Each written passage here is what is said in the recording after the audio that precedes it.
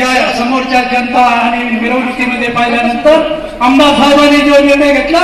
तो योग्य निर्णय घेतला असं या ठिकाणी या तालुक्याला वाटतं असं मला तरी वाटतं आणि म्हणून या ठिकाणी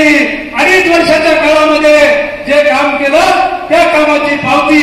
आज आमदार साहेबाला या सर्व जनतेच्या रूपाने मिळालेली आहे असं या ठिकाणी वाटतं गेल्या अडीच वर्षाच्या काळामध्ये सर्व वैजापूर तालुक्याच्या विकासासाठी धुरा सांभाळली वैजापूर तालुक्यामध्ये